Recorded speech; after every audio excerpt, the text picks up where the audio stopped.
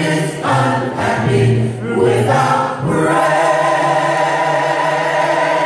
What if he is not pleased with the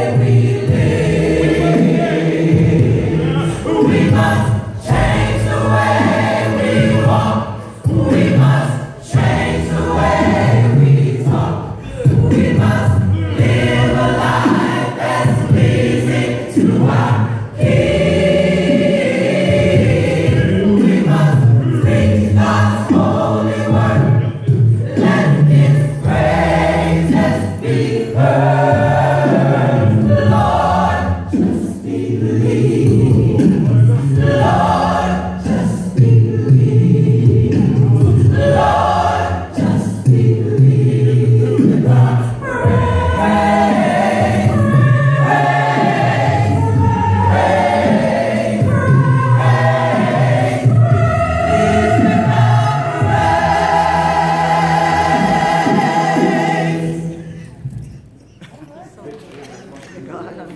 We must change the way.